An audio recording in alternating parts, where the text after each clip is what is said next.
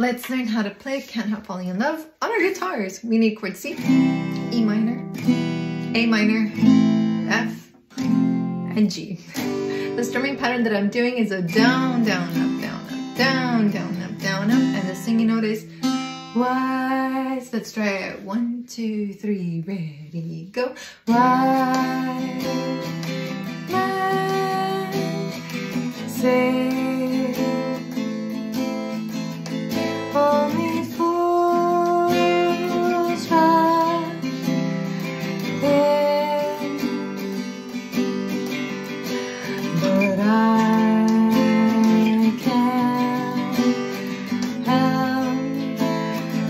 Oh.